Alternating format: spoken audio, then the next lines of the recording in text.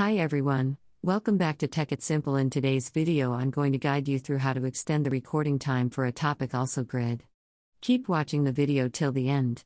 And don't forget to subscribe by hitting the subscribe button, press the notification bell icon so that you'll never miss another update from us.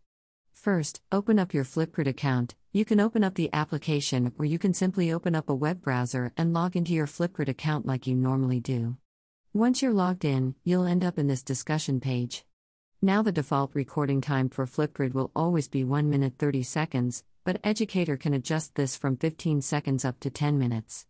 Once you're in your discussion screen, select a topic or a group in order to open it up.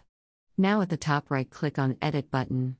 Under Essentials, you'll be able to see a recording time option.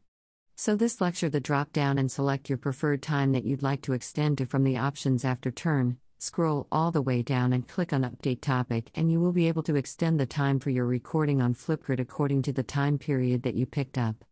I hope you found the video to be helpful. If it was, go ahead and give us a thumbs up comment down below in the comment box. If you have a question or a feedback for us, I'll soon be back with more tutorial episodes. Goodbye till then.